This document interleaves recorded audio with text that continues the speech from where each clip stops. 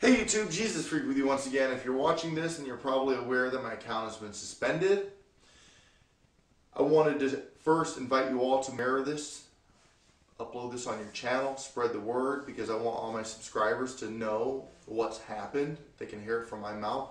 And if you've already done so, I want to say thank you. If you're going to, thank you. I can't thank all of you enough for your support. It doesn't matter whether you're Christian, atheist, Muslim, whatever. If you're uploading this in support of fighting off false DMCAs, thank you very much. I truly, truly extend my gratitude to you. That's exactly what's happened. I received messages from YouTube that I had DMCAs filed against me. They were false DMCAs because those videos were much like this. I was just talking to the camera about different topics. There was zero copyright infringement material at all within those videos. So I was forced to go one of two ways. Either lie down and play dead and accept the fact that my YouTube account was terminated, suspended, or I could um, give up my anonymity and file a counterclaim.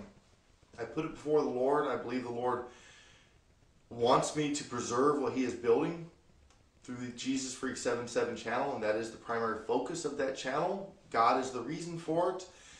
So I went ahead and I filed the counterclaims, and I have to wait 10, 15 days, whatever it is, uh, 10 business days, so probably two weeks, for um, YouTube to decide what they're going to do. I'm anticipating that they will repeal those um, copyright claims, but I'm sure it's just a matter of time until I continue getting more and more and more until people drive me off of YouTube. So this might very well, in fact, be my final video ever.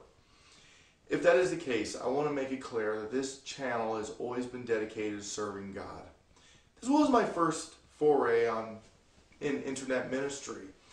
I used to go into Yahoo Chat, MSN Chat. I really liked Yahoo Chat because they had a voice system.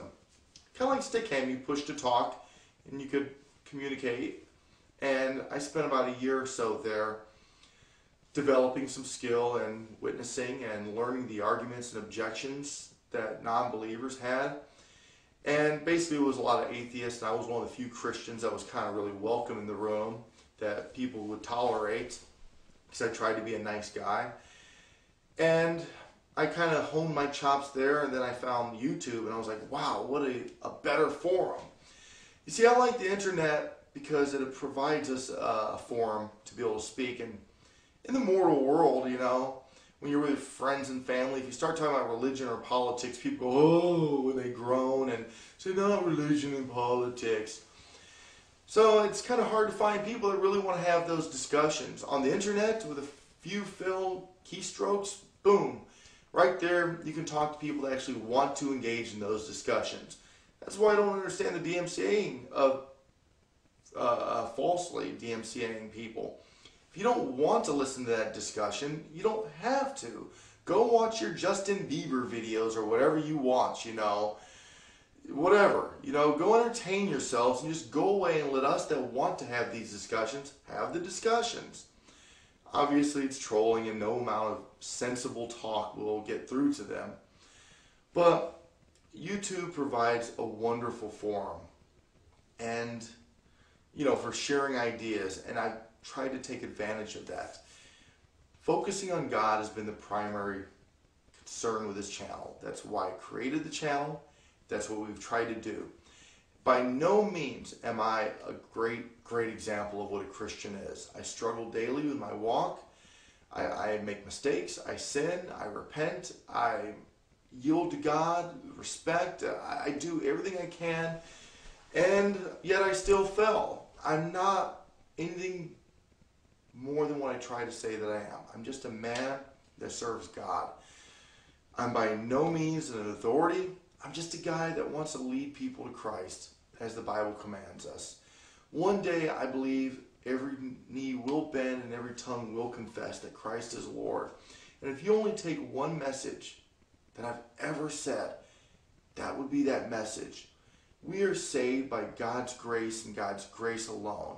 He provides us mercy that we do not deserve. Yet, because of His grace, His love for us, He offers us redemption through Jesus Christ. And without Christ, we are condemned by our own sin.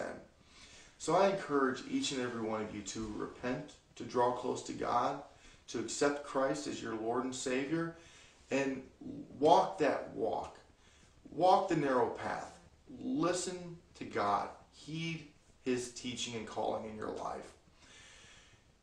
As I said, this may be one of my last videos, my last video ever.